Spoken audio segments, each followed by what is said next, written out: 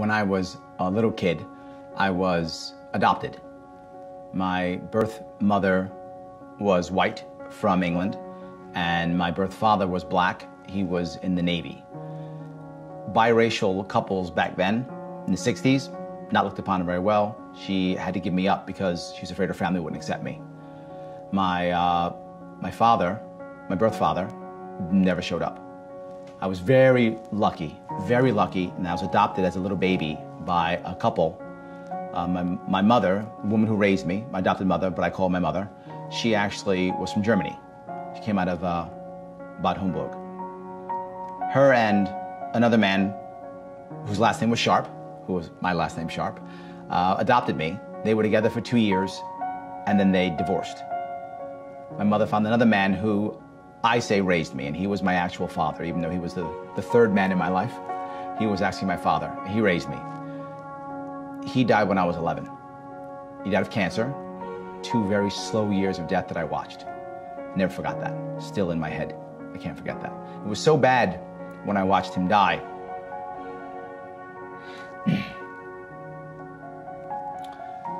that the day itself was erased from my memory.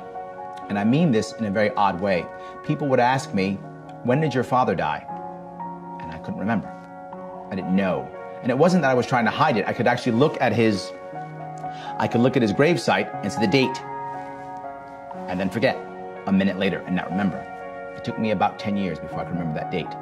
It was March 18th. So I remember after that time, my mother had no family because her family was in Germany and they'd kind of just about disowned her for packing up and moving to the States. She came when she was very young, 18, 19.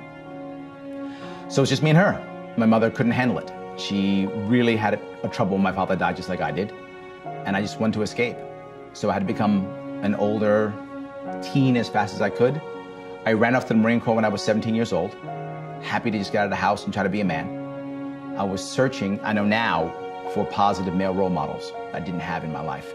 I wasn't going anyplace. I barely graduated high school. It was not a good spot at all. My mother couldn't handle that at all. She collapsed. My mother started with first prescription drugs and then went to illegal drugs and eventually was arrested, lost everything, and was a convicted felon. I came back from the Marine Corps and I helped her. I helped her build back up. I took the money that I had that I'd saved and we got her back up and started. And I saw how hard it was for her to get around that. She paid for that mistake. She paid for that self medication until she died. She always had trouble getting a job. She always had people judge her. She always was afraid that somebody was going to go, ah, you're a felon, you're fired. She didn't under, the system didn't give her a second chance. I had to force a second chance. But I began to realize that the system wasn't made for me and her. It wasn't made from a poor kid from the Bronx, an immigrant felon. It wasn't made for us. So I had to change it. I had to do my own thing. I had to go against the system. So I decided I'm going to start making money. And I thought the only way I can make money is to sell stuff. But I realized something else. I didn't know how. I had no idea how to build a business. I had no idea how to go on my own. I had no idea. All I had was a desire, but nothing else. And that didn't go well. My first business, my first sales jobs I hated, but I did I did good at them. I could sell, I could talk to people. talking to you now, I can talk to people. But I couldn't didn't have that much success. Good enough, but not great. What I found I had better success at was helping others to sell, that I was good at. My mother went off and started her home business. I helped her out. We built that business up. She had to because she couldn't get a job because she was a convicted felon. We started the business up. I left. I started my own business. That was my MBA.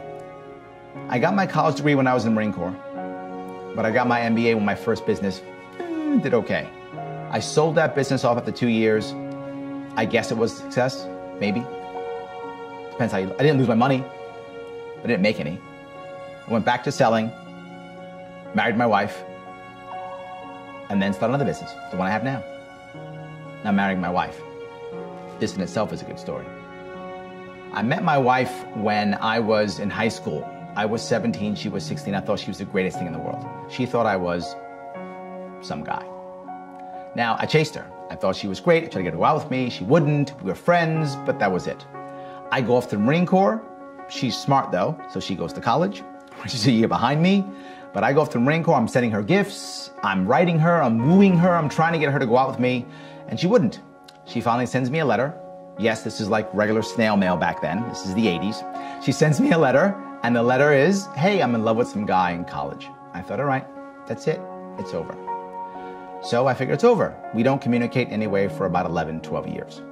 About 11 years later, we have a mutual friend who sends a, an email joke to everybody. It's AOL. Yes, AOL days. I know you. I'm, I'm, I'm not 20. So it's, a, it's an AOL, right? It Sends an AOL joke out, and my email address is on it. She sends uh, an email to me, hey, is this Larry from high school? And I respond, yes, when are we going out? A week later we go out, a year later we're married. So that's how I got my wife. The longest sales process I've ever had, and the best one. We've been together now 14 years, and we have uh, two daughters, uh, 12 and 6. My business now. My business now took off very fast. I learned my lessons. I knew how to do, I knew how to run a business. I knew how to sell. I knew how to, how to deal with customer service. I knew how to move a business forward. It took off. I was training and coaching in sales, in marketing, in business growth, small business. Life was good. In New York City on Park Avenue, got a nice uh, place on Third Avenue, my own, my own training facility, my own training facility, employees, big banks as customers, and here comes the crash. I was not ready for the crash, and I was devastated. Shut my business down, got rid of my employees, had to reboot. At the same time that happened, when the crash hit, I didn't believe it could be that bad because I'm an optimist. So I thought, how long could this last? A couple of months? It'll be fine. Who cares? I'll get past this. Yeah, that wasn't the answer. Year later, I'm devastated. But on top of that, my wife has, my wife's pregnant at the time. We have our our second child. We have our second child, and my second child. we have our second child, and my second child almost dies. She has open heart surgery at 19 days old. I thought I would lose her. On top of that, I was losing my business. On top of that, my mother was diagnosed with terminal cancer lung cancer after smoking for over 40 years. So all these three things happened at the same time. And somehow I had to still make money, keep my family together, not lose my wife, not lose my business, not lose my daughter. And somehow take care of my older daughter, who at the time was six. My wife had moved into the hospital. She literally moved, as any mother would, with a, a sick child, she moved right into the hospital. All of a sudden, I'm on my own. I'm a single dad overnight.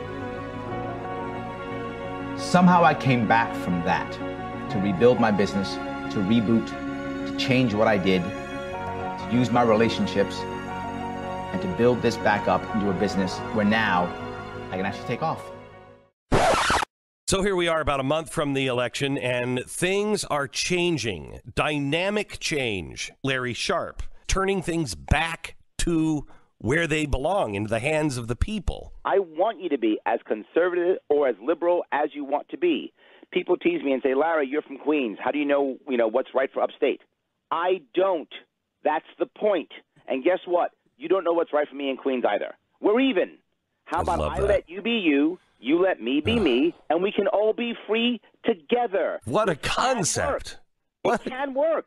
My first guest this evening, Libertarian candidate Larry Sharpe. is the only candidate offering change that would actually improve the state of New York rather than business as usual. My next guest, Larry Sharpe, is a libertarian candidate for governor of New York. The ideas that Larry has are absolutely brilliant, and they would work in any state, not just New York. Joining me today is the Libertarian candidate for governor from the great state of New York, Larry Sharpe. Welcome to the Rubin Report. I'm really tired of how stagnant the duopoly political party system has been going, and I'm ready for progress and innovation in this state. I'm the only guy with any shot to win this election besides His Majesty. He is the anti establishment person we need to unravel this mess that is New York State. Larry Sharpe, ladies I and gentlemen. here.